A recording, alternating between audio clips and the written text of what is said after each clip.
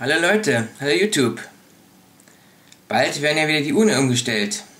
Aber in welche Richtung denn bitte? Vor oder zurück? Tja, wer keine Funkuhr hat, den erkläre ich das jetzt. Man muss immer an den Sommer denken.